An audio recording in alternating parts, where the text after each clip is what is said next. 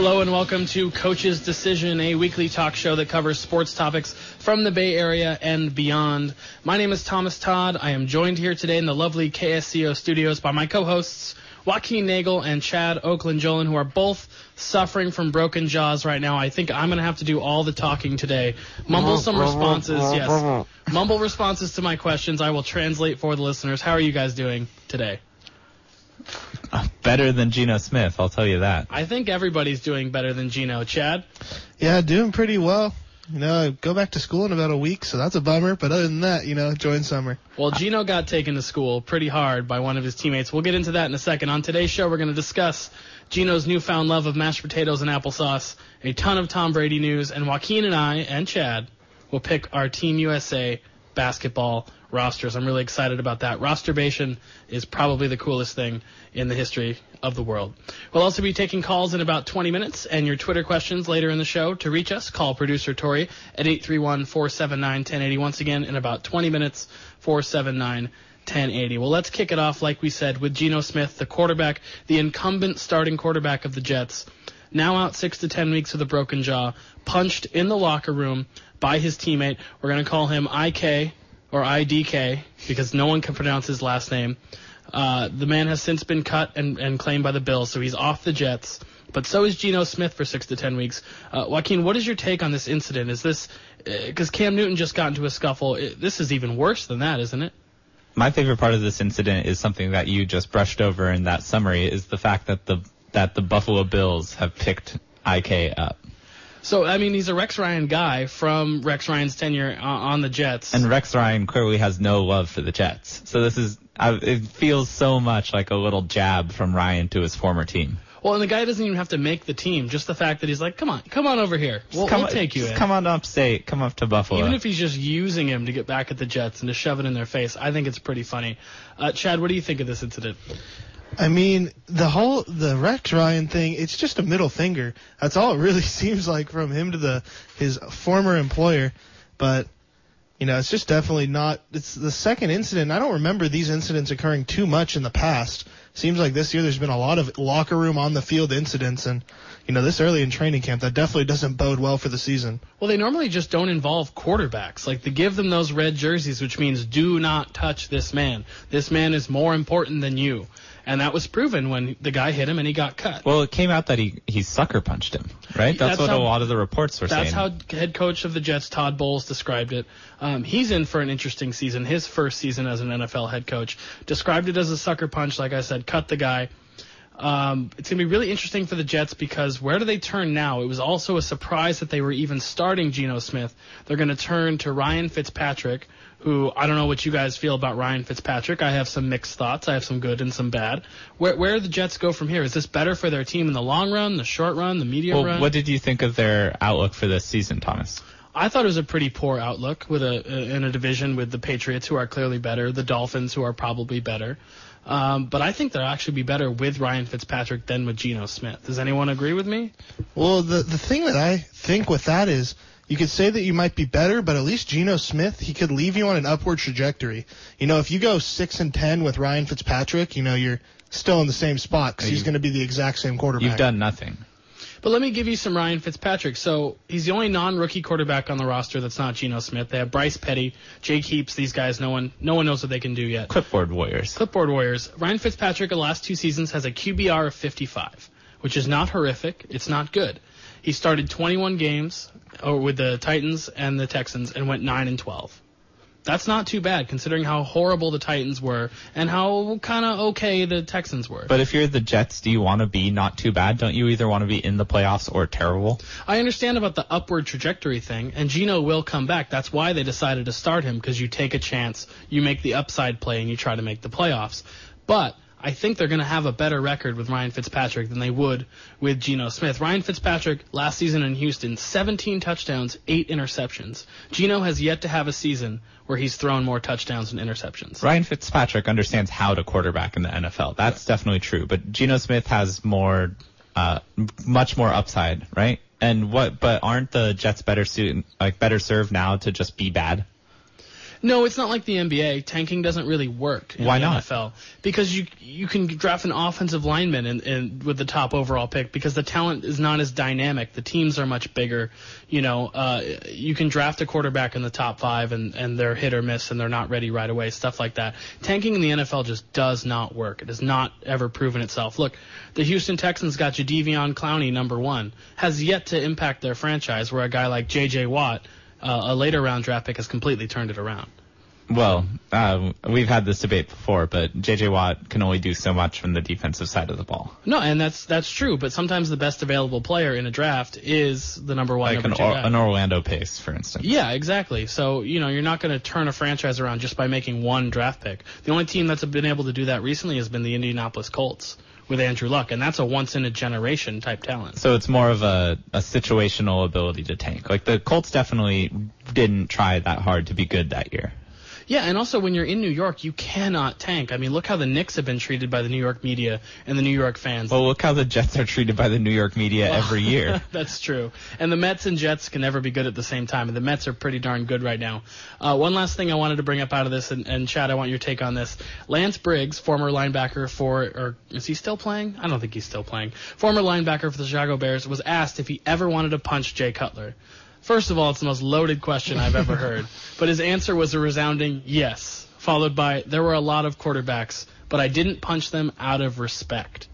So do you think Geno Smith just never had that kind of respect in the locker room? Do you think he didn't deserve that kind of respect? Why did he get hit? None of these other quarterbacks have ever been hit.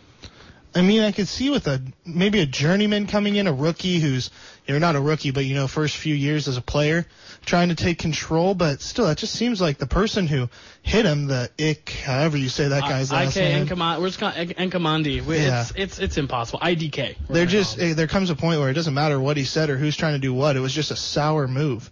So, I mean, yeah, it's just it's hard to even talk about because you know the locker room's supposed to be a good place, especially for players, a sacred place. I, I think the last quarterback to get into a true like fist fight scuffle was um, I'm blanking Roger Staubach in the 70s with the Cowboys. Jim Harbaugh Harbaugh. in the late 90s Okay. got into a fight with Jim Kelly when while Jim Kelly was a broadcaster. Jim Kelly questioned Harbaugh's toughness, and Harbaugh took a swing at him and fractured his hand.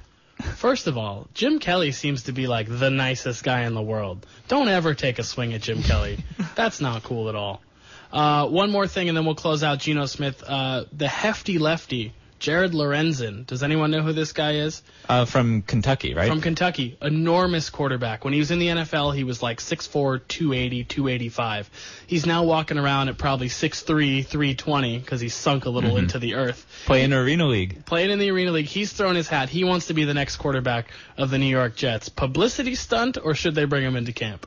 Isn't everything the Jets do a publicity stunt? Well, he, they didn't even do it. It wasn't even them. So, but why not? Why not? Just bring him in. all right, Joaquin, bring us Hefty around. lefty forever. Bring us around to the Yeah, a little, schedule. a little. Yeah, I'm sorry. A little more, a little more uh, like yeah, uplifting news, especially closer to home with our champion Warriors. The NBA schedule was released today, and I was just I.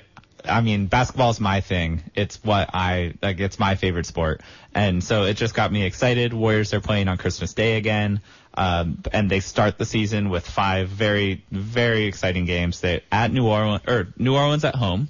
Uh, so former assistant coach Alvin Gentry will be coaching the Pelicans. very warm, very warm homecoming, I imagine for Yeah, him. and maybe maybe a ceremony, and then at Maybe a Houston, ceremony. then at Houston, then at New Orleans, Memphis, and then back home for Memphis and back home for the Clippers. It's a great opening five. That's going to be a pretty fun run. I had a, a schedule construction question for you. Did they lessen the amount of four games in five days and back to backs on this schedule? They reduced the amount of four games in five nights by something around sixty percent, and they brought down the num- like average amount of, uh, average number of instances of back to backs to seventeen per team. And the Warriors actually have a league high 20 of those, but that's partially related to them also having a league high 25 games on national television. yeah, there are three teams I think that don't have any games on national television. The Cavs and Warriors each have 25. Yes. Do we need to see the same team 25 times? Yeah. Even I'm- if it's our team or LeBron's team, 25? I would, 25? I, I'm always happy to watch a Cavs game. I guess that makes sense. I mean, I, I was looking at the schedule. Warriors Cavs is a must see on Christmas Day, of course. It's going to be nice to see the Cavs at full strength with Kevin Love and a, hopefully a healthy Kyrie uh, play against the Warriors team that's still pretty stacked. Uh, the game I looked at early in the season, second day of the season, Spurs Thunder. I think that's a fascinating game because LaMarcus Aldridge is going to be trying to find his way in the Popovich game. You know, being being uh, moved around in different ways in the offense with Tim Duncan. Having to play with another big who actually ha- generates offense. Exactly, and Duncan's going to be perfect for him because he didn't get the heck out of his way. But how did how did the Thunder counter that with just Ibaka and Adams? But that that's not even important because I want to see Kevin Durant play healthy. Mm-hmm. I want to see Kevin Durant running around, being long, being good, making shots because he's really important to the league. He sells so many shoes. Um, he's such a star. He's the transformative player for a franchise. I really want to see him be healthy, and I think that's the first time we're going to try and get to see it. So I'm looking forward to that. Um, Chad, I have a question for you. You're the cynic in the group. I, I, like to say I'm the cynic. Do you think the NBA should play 82 games still? Yeah, I, I think that 82 is a good number for some reason. It seems to be the number that every sport likes to well, play. Because you like hockey, and it, you, think it works for hockey? Uh, it does. It's a good number of games, especially with sports like sports I don't want to say like that that are more more physically demanding, not like baseball where it's a grind where you know playing 160 games makes a little bit more sense. But yeah, the 82 game schedule definitely good. But going off what you said, Joaquin, it makes perfect sense. The four games in five nights is ridiculous. That doesn't make a lot of sense to me. Especially, it might not be a big deal when you're playing in the Atlantic, where you have to make an hour flight, two hour flight. But when you're playing in Golden State, one of those games is in New York, and you have to fly four or five hours to come back home. You know that's a significant amount of time to lose before a, a game day. So that definitely makes sense. Yeah, the, the four games in five nights that involve that are have West Coast teams traveling east are notoriously difficult, and also anytime a team has to play in Utah or Denver on the back end of a back to back, those game those inflate Utah and Denver's home records every year because of the elevation. Because of the elevation and the travel and the often you're changing time zones from the Pacific. They'll play a game in the Pacific, have to leave after the game and then the, you lose an hour going there. Right. Well, the the city that's the worst, and when you look at MLB travel schedules, Seattle has to travel the most out of anywhere, and there is no more basketball team in Seattle. Well, so Portland's pretty much there. That's a good point. But yeah, if you look at oh, there's no baseball team in Portland, so that makes sense because I've looked at all the mileage that the MLB teams travel, and the Mariners have to travel thousands of miles more than every other team in the league, just because it's so remote, and there's no Utah team, there's no Portland team, so that makes sense. All right, that's the top of our show. Let's bust into our first sponsorship. Ken Keegan, local artist, big fan of his. He's a big fan of ours. He's also a big fan of baseball. We talked about his New York Mets surging in first place right now, looking likely to make the playoffs. I'm actually thinking about going to a Mets game uh, in New York if they do make the playoffs. We'll see how that fleshes itself out. But Ken is a local artist. You can see his art on artwanted.com. Search his name, Ken Keegan, on the site, and you will see dozens of his works. Quiet Moon, a very serene painting, very beautiful use of blue and green. Ken is great. That's at artwanted.com. Search Ken Keegan. All right, now we're going to flip it over to some baseball because there's a lot of really interesting things to talk about, especially something that happened today. We're going to go to our friend Daniel Zarchy, our resident baseball expert. Danny and I have been podcasting about the Giants for coming up on five years now. Danny, how's it going, buddy? I'm good, good. How you doing? Pretty good. So I know that you have a personal connection to the Seattle Mariners because you date you date one of their super fans. Um, how excited is is the future Mrs. Zarchy about Iwakuma's no hitter today against Baltimore? Well, I I went to court today and I was did not look at my phone like a good like a good little boy. And when I came back, I had uh, four or five text messages all in caps. I think. That's pretty awesome. Uh, yeah, so so she was very happy, um, and Iwakuma is just well. Let me back up. One of my big things this year has been guys who were great and then got hurt, and then everyone counted them out, right? So take Prince Fielder for example. Prince Fielder was one of the best and most reliable players in the league. Basically, has been since he since he started playing every day, and by every day, I mean every day. He'd play 162 games. He'd always bat over 300. He'd always hit 25 to 35 homers. He was he was an Iron Man. And then he got hurt, and then he missed a year, and then people said, well, this guy's no good anymore. And it, that just never made sense because you can directly point at the injury that caused his poor play. And uh, with his injury in particular, there's no reason to believe that it would still affect him. And so Now, you're saying the same thing with Iwakuma. He was out for a year with an injury, and he was already a pretty unheralded guy, a very underrated player because of where he played. Right. So Iwakuma comes over, uh, is one of one of the five best starting pitchers in the league in 2013. Uh, nobody knows who he is because he's on the Mariners. The Mariners didn't make the playoffs. You know, he. I mean, think about if he'd gotten the same amount of attention that like that Kensuke Tanaka had gotten. Um, or, I mean, Masahiro Tanaka. Sorry, Kensuke Tanaka got as little attention as he Yeah, deserved. as he deserved. He played some left field for the Giants. He's long gone now. So, you know, comes uh, comes across the, the Pacific Ocean, pitches incredibly well. Nobody knows who he is. Then 2014, he pitched amazingly well for the first two thirds of the season. Then got hurt and pitched really poorly in the end of the season. And this year, he's been a lot of it hurt. But it's the same deal. He came back and he's he's been you know up and down so far since coming back from the DL. But there's no reason to believe that he's not going to be the same dominant guy that we thought he would be. Well, so it's pretty crazy, not just that Iwakuma threw a no hitter, because those are always crazy, but that it's the first no hitter of the last 12 that have been thrown in the American League. The last one thrown was King Felix in 2012 when he threw his perfect game.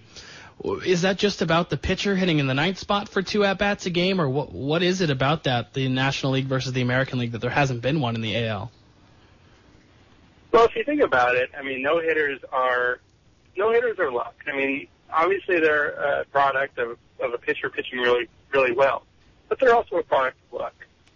Um, and if you remove the removed the DH from the equation two to three times through the lineup, then you know that's two or three fewer times when the Sabbath Dragon can you know can ruin everything.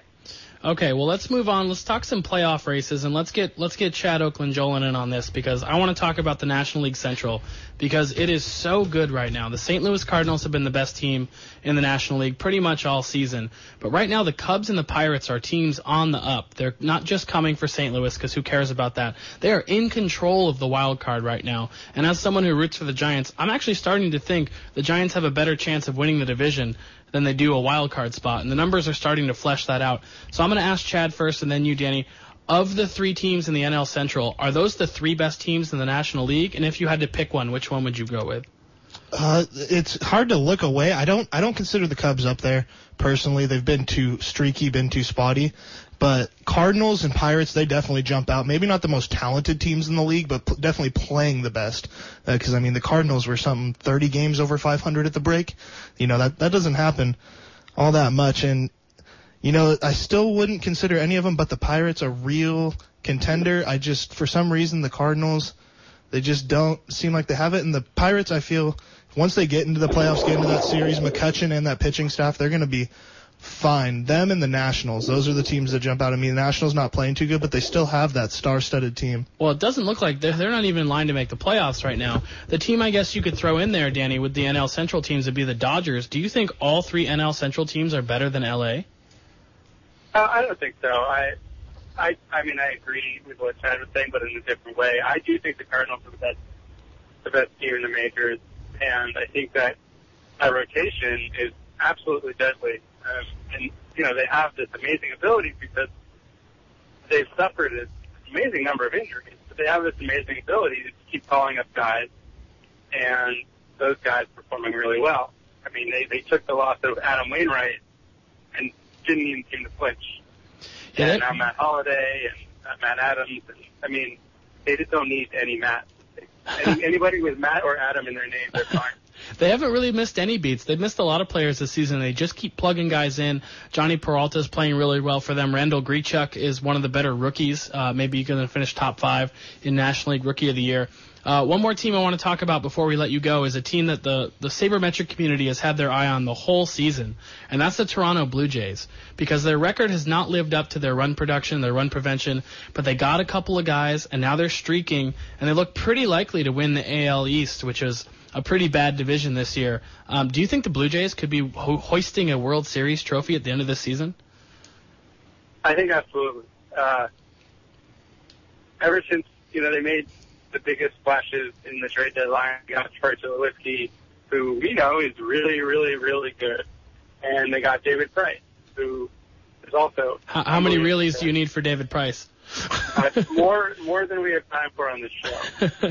uh, but I don't. Um, ever since they got Tulowitzki in the games that he's started, the the Blue Jays are something like 13 and 0, and well, I actually don't know if they won today, but last time I checked, they were winning 11 to one in the I, second inning. I, I know their bullpen's bad, Danny, but I'm going to go ahead and assume they won that game. Joaquin? Well, hasn't their bullpen actually improved of late? It has improved of late. And you know what helps it improve? Yeah. Uh, when a guy goes eight innings and gives up two runs like David Price does all the time. So the Blue Jays, but also with Price there, for some reason, all the pitchers are doing well, and that might be their their downfall in the playoffs is, is that they don't really have a, a reliable rotation. But if they can score eight runs a game, I mean the Giants aren't going to beat that. Well, Uh, well, the Giants aren't going to beat the Cubs right now, so I don't know if we can talk about that too hard. About them actually playing an AL team. Giants. You're not worried I'm about. not worried about. You haven't worried about the Giants ever. You weren't worried about them in 2009 when they lost like 92 games. You didn't care at all. You were hopeful for a bright future, and you were right. I'll give you credit. You were right. I think the Giants beat out either the Cubs or the Dodgers, uh, but not the Pirates. I think I think the Cards and the Pirates are legit.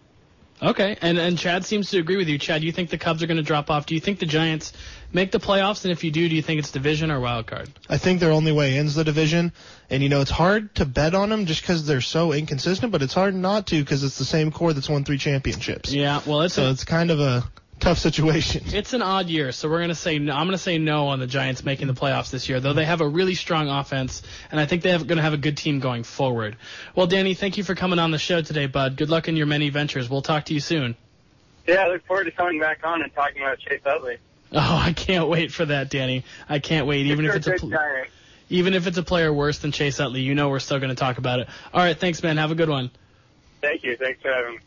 All right, that was Daniel Zarchy. We're going to tell you about 99 Bottles on Walnut Street between Pacific and Cedar. 99 Bottles is the premier downtown location for dining and entertainment. Seriously, one of my favorite places to go downtown. Drink selections from domestic to hard to find beers. Their IPA selection is off the hook. Their bartenders know what's up. They have taps that you can't even see until you order a beer, and then they walk over to a tap you have not even seen. Hundreds of choices to work your way through in their bar. They also have good drinks. Uh, sorry, they also have good food in addition to the drinks. Uh, the waffle fries are a must. Full menu, pub food, sandwiches. Everything is delicious. Also, trivia night Wednesday nights happening right now. If you're not listening right now, please go down and play trivia with Marisa at 99 Bottles. It's a great trivia night. Sports fans can also have a spot at the bar or have a spot upstairs. They have big TVs, small TVs. They will put on whatever local, national, international sporting events you want to watch. All right, gentlemen. We're going to go into a segment we call Calls and Balls. We never get any good calls, but we have lots of good balls. We've had a few calls. We've, I said good calls. Uh, you can reach us at 831-479-1080 if you're out there listening. Ask us anything. We're going to start off by busting into what I like to call basketball porn. Oh, are we talking about Team USA, Thomas? We're going to talk about Team USA. Yes. So the Olympics are in 2016, 20, Yes, 2016. I don't care when they are. I want to build up this team. I just now. want I want a Team USA basketball team every summer. Why not? Why not? Uh, They need to rest. I think they should rest. Well, they they're having camp as we speak, and and where? um, sorry, you you have to tell me Las Vegas. in Las Vegas. Where, where else are you going to get NBA Always. players to congregate?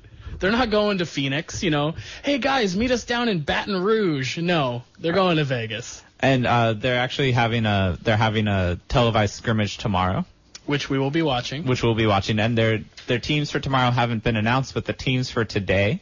Just think about this as a team, like a, just a scrimmage team. One half of the scrimmage. I will do that. Carmelo, Bradley Beal, MCW, Mike Connolly, Boogie Cousins, DeMar DeRozan, Rudy Gay, Draymond Green, Blake Griffin, LeBron, DeAndre Jordan, CP3, Mason Plumlee and Klay Thompson. Well, it's not Marshall Plumlee. I actually think one of those was a uh, defunct wrestling league that you said. I don't even think that was a basketball player. uh, Mark Michael Carter Williams. Oh, not MCW, W, not MCW, not, not, W. I- WCW. I, read the notes simultaneously upside down and right side up. uh, so what we're gonna do right now, and and Chad, feel free. We built rosters, and I want you to tear them down for us so we can get them right. There are 12 spots for this team. We're gonna say if everyone commits. Not everyone's gonna commit. LeBron James has a big decision to make whether he wants to play or not. Uh, but Paul, we're, Paul but- George is probably on the fence. He's on the fence, but but LeBron has a roster spot on Coach K's team if he wants it. So we're gonna throw him in there. We're gonna throw in some other guys who have spots if they want him, just to get him out of the way.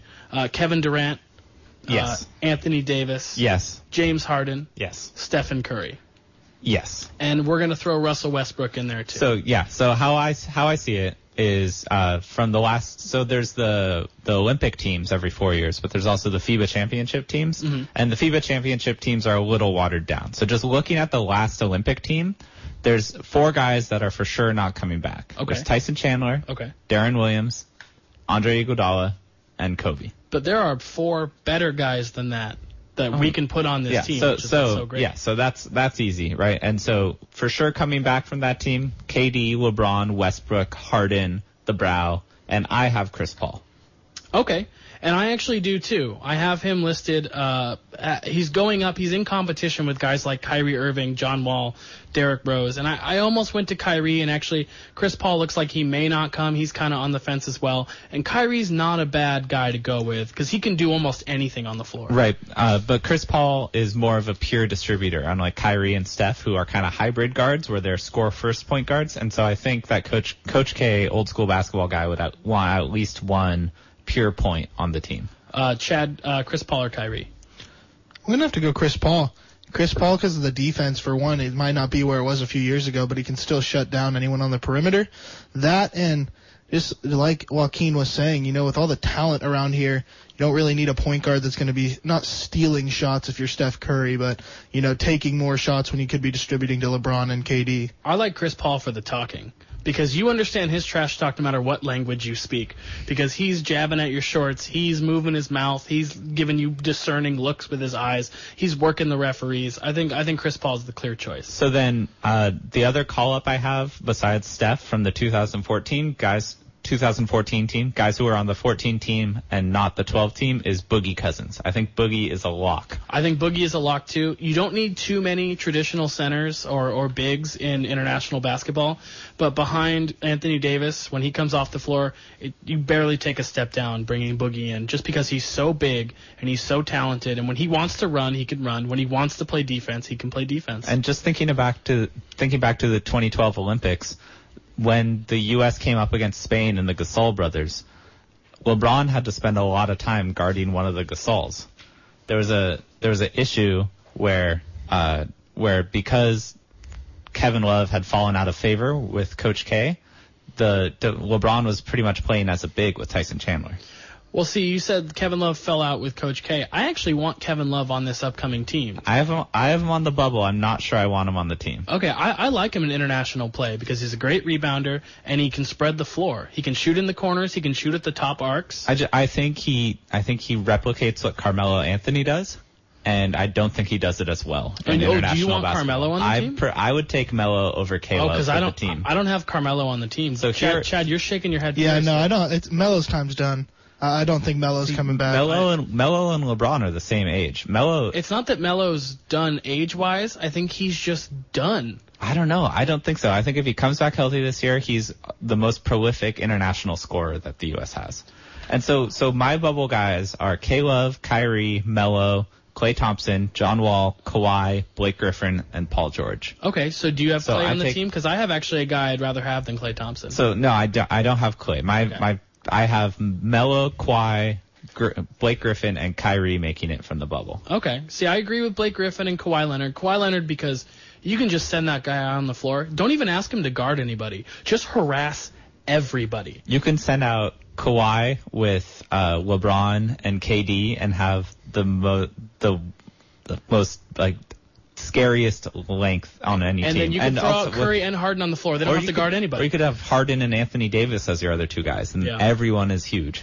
Okay, so I want to go for my guy, my wing that I picked because you know you've got Kawhi, you've got the Blakes of the world, you've got Durant on the wing. I like Jimmy Butler. You do? I think Jimmy Butler would be Jimmy fantastic in international play because of his defense. All all these guys can score. When James Harden and Steph Curry are on the floor, why do you need scoring? No, See, you, I would I would take Kawhi over. Or, uh, sorry, I would take Klay over Butler. You would. I would. Hmm. I would. I think he. I think he's more effective as a floor spacer, and he pretty much replicates the defense. And if you already have stoppers like Kawhi and LeBron, I don't know that you need that from Butler. Uh, Chad, any love for Dwight Howard making this team? Yeah, you know, I had him down as like a bubble guy, maybe him with a kind of slash DeAndre Jordan because they would bring pretty much the same thing: bad free throw shooting and good defense. But you know, when you have Anthony Davis and Boogie Cousins, it doesn't really seem like you need him. And Dwight Howard, you know, uh, I just don't like the man, so I would not put him on the squad. What do you think, Joaquin? Uh, I don't think there's any room for Dwight Howard. I think Okay. his. I think his body can't hold up playing a full year. I think he needs time off in the summer. So wait, who was your other big then? Lamarcus? Hall- Oh, Carmelo. You liked Carm- Carmelo. I what like about Melo. what about Manimal? What about Faried? I think Faried's an incredibly useful player and would have been great when all the stars didn't want to play. He was he was on the 2014 team Exactly, and they needed well. that energy player. But I don't think I don't think the team with the, this much talent needs an energy player. I completely agree. I completely. LeBron is an energy player. You know, he doesn't get praised for it because he's the best basketball player on the planet, but he brings energy every time he's on the floor. I mean, look look at what happened in the finals. They didn't have an energy guy that wasn't Dellavedova. It was LeBron. All right, so I so the only place where we differ is I have Melo, where you have Jimmy Butler. I have Kevin Love too. Oh, Kevin Love. There I have go. Kevin Love over Carmelo, and I have Jimmy Butler over. Who did you pick instead of Klay for your wing? Kyrie. Kyrie. I don't have Kyrie on my team. Okay. Correct me if I'm wrong, but is John Wall not on this list? John Wall's not on this list as at camp this year. I have him as a bubble guy, Mm-hmm. and same with Paul George. If Paul George decides to play, I think he can take a spot away from either Melo or Kyrie. Both But I fantastic don't, players. I don't think John Wall shoots the jumper well enough to be effective internationally, especially with other high usage players on the floor. Totally agree. What do you think, Chad? Do you like John Wall? I mean, yeah, he brings a lot of energy. He's just quick and he can score on the inside, but that's not going to translate as well to international game. Yeah, we saw Derrick Rose struggle in 2014, and Ah. so I don't think I don't think that that experiment continues with John Wall. This segment's giving me goosebumps. I think this is the most fun we've been able to have, like as a team so Oh, far. it's I enjoyed great. the crap out of that. All right, uh, I've been enjoying the crap out of the internet the last few days, and it's been a Tom Brady grab bag. It's been crazy on the internet. First of all, this sketch comes out from the courtroom, The Hunchback of Notre Brady. and awesome. Tom Brady just looks like his face is melting. He looks like he's a zombie who saw the Ark of the Covenant in Indiana Jones. He's just they caught him apart. halfway after drinking out of the wrong Grail cup. something happened, and I think the artist even had to come out and apologize and say, "Tom, you're a very handsome man. I apologize for my shoddy craftsmanship." Maybe maybe his wife is sucking the soul out of him. Yeah, I don't, he looks fine, but uh, it was great because they put the the zombie Tom Brady face on like Edvard Munch's The Scream and Mm-hmm. a bunch of Vincent Van Gogh paintings to make him look completely awesome and awful. Uh, they put him in the E.T. basket. They put him on the Hunchback of Notre Dame poster. Yep, that was good. Uh, some other Brady stuff. Sun King Brewing in Indianapolis has imprinted Tom Brady sucks on the bottom of 20,000 cans of beer. Wow. Wow. Okay.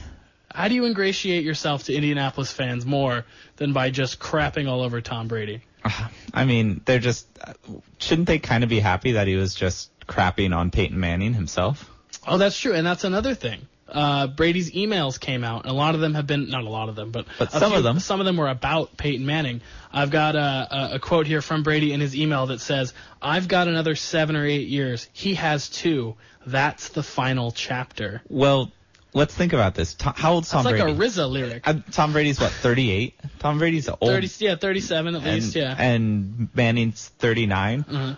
What sort of NFL are they playing in where Tom Brady thinks he can play till he's 45? I, when's the What's last time he was hurt? I mean, he blew out his knee. Bern, uh, Bernard Carmel Pollard blew out his knee. Yeah, but he could barely move. Like, in three years, do you think he'll be able to move around?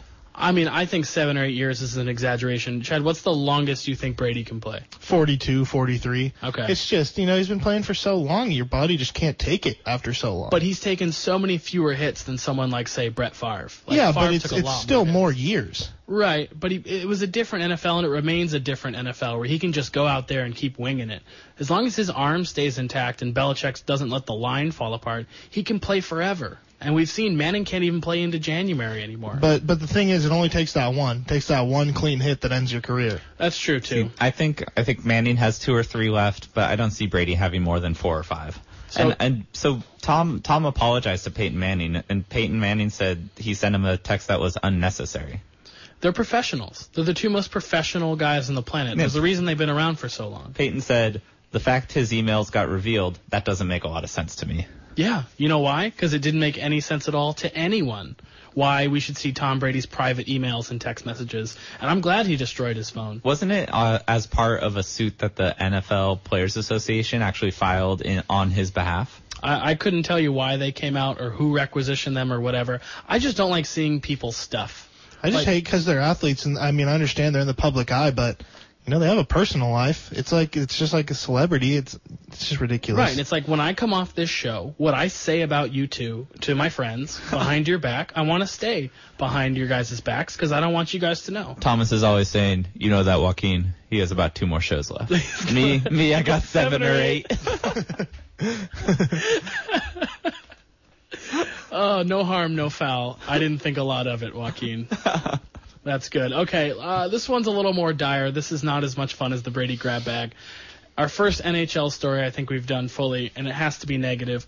Patrick Kane is being investigated for an incident at his house with a woman who they have confirmed was in her 20s, by the way. I can't believe that was a news story. Confirmed, woman was in her 20s that Patrick Kane may or may not have sexually assaulted or, or committed a rape against. Uh, he apparently met a girl at a bar, brought her to his house. Later that night, she called her family, checked herself into the hospital, and a rape kit was administered. No charges have been filed, but there have already been consequences. Chad, you're an NHL guy. This is a big thing for the league because that league keeps its nose pretty clean. The players stay out of trouble for the most part, to the fact that they've always touted it as part of their league's appeal. How do you think this changes things? I mean, it, it's not just any player. It's the poster boy. Patrick Kane just won an NHL, just won a Stanley Cup. Got put on the cover of the video game. Not Now anymore. get- yeah, now he gets it all stripped away, and it's just it's awful for the NHL. Plus, they had the thing earlier this year with it was Mike Richards who had the drug charges against him, and that was the first. That was kind of a wow after every other league being in the negative news so And much. A- A- Erin Andrews' boyfriend, who's Jarret Stoll. Jarret Mm-hmm. Stoll also had that incident with some drugs. Yeah, and it's it it really it hurts me in the heart because he's from he's from America. He's a U.S. hockey player, and it's just you know there's not that many of them that really can get a country to rally behind him like Patrick Kane could. Yeah, he's a two-time Olympian. He's a three-time Stanley Cup champion. He's often said to be one of the two or three best American players in the NHL. But it's a big hit for the NHL specifically because their commissioner, Gary Bettman, has said the NHL does not need a thorough and tough program for player conduct off the ice, like he compared them to the NFL, saying our players don't act that way. You know, the direct quote is, "I'm not sure if there's any need for any code of conduct for our players who who overwhelmingly conduct themselves magnificently off the ice. We deal with it on a case by case basis. We don't need to formalize anything. Our players know what's right and wrong. We have mechanisms in place to hopefully not get to that point. Well, Gary Bettman, you're at that point right now. One of your stars is, is going to be in a whole heap of trouble. This could go away completely, but they also need to come up with an off the ice, thorough punishment for Patrick Kane for even being involved in something. And like it seems this. like it seems like when it comes to incidents with Kane, the league has looked the other way in the past. Also, yeah, I, I looked up an incident where he, him and his brother beat up a cab driver Yeah. over 20 cents. yeah, I mean, I know they were 21 and 20 at the time, and probably morons but like we all still, were. but that that age of being 21 or 20, that's never brought up in the defense of a NFL player. Right, when you guys are 22, 23. They beat that up a 62 year old man driving a ta- at work. What? It's it's indefensible. I can't believe that I'd never heard that story before. Because As a former cab driver, I find that horribly offensive. I've been punched. I got punched in my taxi, but I'm not a 62 year old man. So Patrick Kane's in a whole heap of trouble. I, I'm waiting to see how this Yeah, plays out. lawyers have already been uh, acquired by both both the accuser and the accused. So, like like I said before, no charges have been filed. They're still investigating. But once those uh, charges are filed, he will be suspended. EA has already pulled all of his sponsorships. He will no longer be on the cover with Toews uh, of their 2016 game release. So, Uh, good luck, Patrick Kane. I hope justice finds you. I hope it absolves you, but I hope if you did it, I hope it finds you. All right, more justice. Tiki Barber wants Roger Goodell to be fired. Yeah. I Wow. like it. It's a strong stance. He said he said that he actually had formerly supported the commissioner, and that uh, after recent events and after now understanding that the Wells in, Wells report and investigation wasn't conducted independently, that he has doubts about whether or not Goodell should continue with the NFL. Chad, what do you think? Should he be fired? Is he doing his job right? I'm I'm confused as to what his job is. Is he doing it right? I'm gonna have to go with no. I mean, I don't think any. If you have, I mean, you consider the players as employees. I guess you could very loosely. I mean, it's been a pretty bad year for your employees with all the negative things that have been happening. And I mean, what has he really done except for say we're gonna be better? He hasn't really done much to change it. And then, you know, the whole thing with Tom Brady, not to give the Patriots the scapegoat, but that really made me sour because of how much he overreacted on that versus the reactions of the domestic violence, of the battery, of all that different those different allegations that have been fired filed against his players. Freudian slip. I like it, Chad. yep. But it's hard to say he should be fired because I feel like he's not the one really call. I feel like he's not the one calling the shots. He's kind of the puppet. I feel Yeah. like he's just the guy at the face. I think he's really good at being a puppet, which is why he's not going to be fired. It's also why he makes $44 million a year, because his bosses are the owners, and no one's calling the owners out on Well, anything. Roger Kraus was always a big Goodell guy, but now he's alienated him. And how many more owners does he have in his pocket? Like how many more, or sorry, in his corner? Like how many more owners are is he going to alienate before the owners decide they can't stand his tomfoolery anymore? You need 24 owners to depose a commissioner. He has at least uh, the owner of Baltimore, because that guy's stoked that Tom Brady got suspended. He's got a couple other of the AFC teams that don't like the Patriots on his side. And honestly, there's all these no-name owners of these no-name teams who don't care. They don't care. Suspend my players. I don't care. They're just making money. They're just making money hand over fist, so much so that they can give him $40 million a year to look like an idiot. And he's doing it so, so well. So do I think he shouldn't be commissioner of the NFL? Yes. But do I think he should be fired by his bosses? If I'm his bosses, no way. I'm keeping that guy as long as possible because he can play stupid with the best of them. So, Yeah, as long as as long as Goodell stays in the news, and as long as we're talking about Goodell and not the incidents, And not a- the it's a owners. and not the owners, it's a win for the owners. yeah, there's no individual owner who's who's had an incident like Marge Schott in baseball in the 90s who said Nazis were good or whatever she did. As long as that stuff Who stays was out. a Nazi? Well, jeez, that's a whole long story. One more story I want to do with Joaquin to end on a positive note. Elton Brand retired, and I know you and I both have some Elton Brand memories. what a great great college player. A great college player, uh, I believe 1999 ACC Player of the Year at Duke.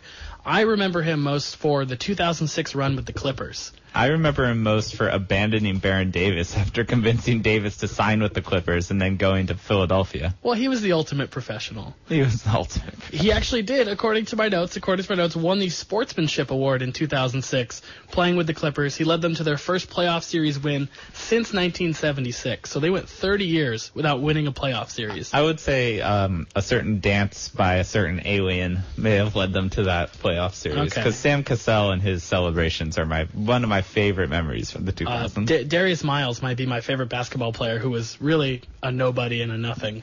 Over Q Rich? I, I like Darius Miles more. Okay. I just that the headband tap thing was so good by all those guys. All right, well we're closing out our show the last few minutes. That means we're going to bring on producer Tori to do some Tori topics. She's going to come on and tell us all the stuff we missed this week. But before she does, we're going to also throw some love towards Ken Keegan, local artist. Go to artwanted.com and search his name, Ken Keegan. We're going to get you back on the show. So on the show soon, Ken, to talk about your Mets.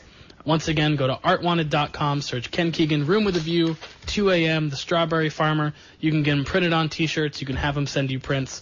All of this wonderful stuff can happen. Victoria, how are you doing? I've got a bone to pick with you, Thomas. Uh-oh. More I- other than the usual one? I just need to let everyone know that last week Thomas Todd made me cry. He knows I love the Kings. He knows I love Vlade. And Oh. he made me watch Once Brothers. And I spent the Oh. last 15, 20 minutes just sobbing like a I was sick, so I was 30 for 30 binging, and I finally caught up with uh, the Drazen Petrovic 30 for 30 that Vlade Divac was was central to, and I just knew she loved the King so much I had to send it her way. Is it in your top three 30 for 30s from season one? It's really hard not to be. I mean, when Vlade goes to Croatia and people are recognizing him on the street, but nobody wants to talk to him because he's a Serb, and uh, the uh, I don't know, the one guy is like he's excited just to talk to a human. I mean, he uh, Vlade tries to absolve himself as though he didn't know at all what his actions meant. Well, of course, but that's what we all do about things that happened 20 years ago.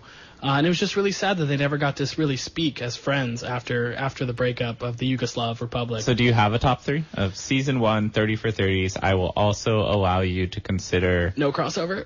No, well, that's that's in season one. Okay. Um, but you can also take the Bart catching hell as Okay. part of season one, I- even though it came out a little. I like. Run Ricky Run. Okay. I like No Crossover.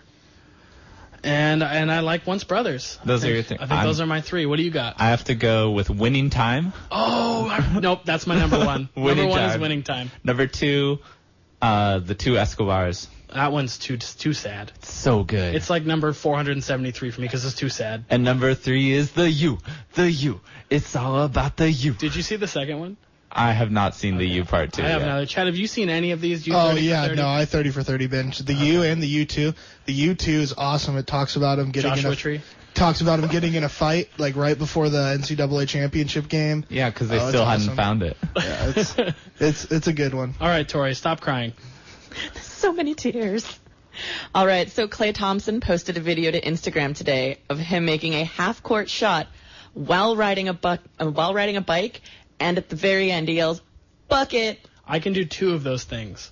I can re- hit a half court shot and I can yell bucket. I cannot ride a bike I very can well. I can do two of those things. I can receive a pass, and I can yell bucket. I can ride a bike and I can yell "Bucket." Can't make a half-court I, shot. yeah, I'm picturing you riding the bike on a, a hardwood floor and catching a basketball. That would be that would be amazing. I just love the He catches it one-handed. He doesn't adjust it anywhere. He just it brings it straight to the shooting pocket, flips his wrist. This is why I love young athletes. You know, guys in their 30s, they're just going about their business, thinking about their family, thinking about their Maybe their doing their taxes. This is just for fun. I just want to ride through a gym on my bike and shoot shoot basketballs. You don't think Tim Duncan's doing this in the off season? No, not at all. His bike is stationary. His bike goes nowhere. He's just out there swimming. Yeah. Next story. Let's talk about how much I love this rookie class. Oh, I yes, the, you sent me an SB Nation video of the rookies uh, imitating all of the current players, and you said specifically R.J. Hunter does deli, which is great because all he does is crawl across the floor to get the ball, keep crawling like he's in the in World War II in the Military trenches. crawl. Time out! Time out! They even did an AMA. Lol, that was my next one. The rookies didn't ask me anything on Reddit. We got The some rookies are great. Uh, Kaminsky's favorite class in college was vampires in Western Western Lit. okay. Uh, he kind of looks like one. Porzingis keeps his draft hat in a glass case back home in Latvia with his family. All you have to do is keep it over seven feet off the ground, and no one else will be able to touch it. Musical guilty pleasures. Sam Dekker loves One Direction. Is that Mudiay- really a guilty pleasure? Sam Dekker looks like he's in One Direction. Oh, he's adorable. I love him. Uh, Mudiay. Mudiay, Jason Derulo, and Booker, Justin Bieber. What you gonna do with that big fat? no butt? Fetty Wap? No Fetty Wap. Did Oh. you see that uh, they met? Oh, it was great. The Royals met Fetty. Fetty Wap's the group, right? Fetty Wap is Fetty Wap is- artist. Trap. It's an artist. Fetty Wap i- is an artist. See how much I learn on this show that I don't actually apply in my everyday life. Though you know what? Would I'm you s- say the Royals are Fetty Wap's trap queens? Yes. I am seeing my own Trap Queen in two days. Taylor Swift is probably going to perform that song at Levi's two days, and I will be in attendance. You He's- and T Swift go way back. We go way, way back too like excited this. about this. Whap whap whap. So I don't even know if that's how the song goes. I don't know anything about it. I just know that means I made a basket. Next story. So during Eric Bledsoe's back to school charity game, Drew Bledsoe's brother, right? Okay, I got this. I got this. Boogie scored 91 points on his own. Boogie. By ones or by twos and threes? Wait, when what kind of game? It was a charity game for Bledsoe's charity. Okay, you notice there's no D in the word charity, right? Of course, of course. It's like an get- all star game. Yeah, that's why you got 91 points. There's no D in the. Okay, all right. Boo. Irk, Irk Nowitzki jokes here. Sorry, I'm on a roll. Ace Kid. I'm on.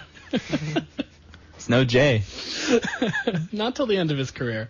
The first NFL preseason games overnight ratings were higher than the Blackhawks Lightning Stanley Cup clincher. Yeah, why not? Football's back. Duh. Football is back. Uh, Somebody had to actually like sexually assault someone to get a hockey topic in this show. That's how sad hockey is. Sorry, Chad. Deal with it, Chad. It's all right. we'll just love hockey and do what we do. It's fine. You sound like mixed martial arts fans. Yeah, who cares about all you guys? We just have. Yeah, we our- know our sport's the It's best. not. It's not a niche sport. It's just the only sport. Okay, I bro. mean, pretty Ah, much. niche. Eagles fans want Pope Francis to bless Sam Bradford's knees.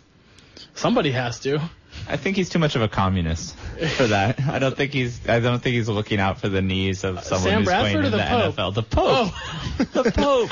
you meant Sam Bradford. No, the, po- like, oh, the this- Pope is a Jesuit. I was like, Arian Foster came out as atheist. Did Sam Bradford come out as communist? No, I think I think the presiding feelings among a lot of people is the Pope's a little farther left leaning than most. oh, why? Because he cares about the Earth. Yes. Okay. All and, right. and believes in you know freedom of choice. Oh my goodness, what a man! All right, one more story, then let's close it out. All right, this one's for you, Joaquin. The North American Soccer League Commissioner, Bill Peterson, wants to introduce, introduce pyramid promotion and relegation systems despite the pushback from the MLS. I love it. I love relegation and promotion. we need it. I think, well, I love it in all sports. I wish all sports had relegation. You and know why I brought Chad on this show, right? I'm sorry. You don't have two shows left, Joaquin. you have no shows left. Hey, I'm getting three points from tonight, Thomas. I'm winning this show. Winning time. Uh, All right, we actually do have time for one more story, Tori. Let's do it. All right, the cutest delay of game ever. Rogue Squirrel stops Royals Tiger game. Now, color of squirrel. Black. Nailed it. Yeah. Love black squirrels. Oh, I have one that lives on the roof next to my house. He just stands on top of the roof and eats his nut. My favorite is that uh, in a Liverpool soccer game a couple of years ago, there was a cat on the field, and they didn't stop play. They just had there was a cat. Like the ball was on the other half of the field. The, the cat was kind of down by the goal. The Anfield cat, so You know what? cute. The countries these guys grew up in, you know, South America, Africa, there's animals just running all over the place. every, fields How would a cat necessary. make it to like the pitch on Liverpool Liverpool Stadium though? I It don't would know. have to get through so many lines of security. Dude, but cats are like the sneakiest. Yeah, they just it just waited for the game to start and ninja'd around. They're self-sustaining. They can travel long distances. They squeeze into They're tiny natural holes. predators. They're very quiet. That's true. Maybe it was it was probably just stalking a mouse and wound up on the pitch. dogs can't sneak in because they're morons. They let you know they're there the first second that they're there. It there. goes human, human, human. Yeah. But let me I say the you. best part about the delay of game. The commentator said, Teams have tried just about everything to try to get Wade Davis in the eighth inning. This is the first time a team has thrown a squirrel on the field. Very good. All right. Well, that's our show today. Some thank yous and some glorious self promotion. You can find all episodes of our show on iTunes by searching the name or YouTube at Coach's Decision. Follow the show on Twitter at Coach's Decision. Follow me on Twitter at Giants Todd. Joaquin at Walk underscore Nagel. Chad throughout your Twitter feed. At Chad Oakland Jolin. Have fun spelling that last name. O K L I N J O L I N. I think I did it. Yes, you did. All right. Well, thank you to producer Tori for all the hard work you do. Thank you to Chris in the other room. We love you, man. Can't do this without any of you. My name is Thomas Todd, and you're listening to KSCO 1080 AM, Santa Cruz, Salinas, Monterey.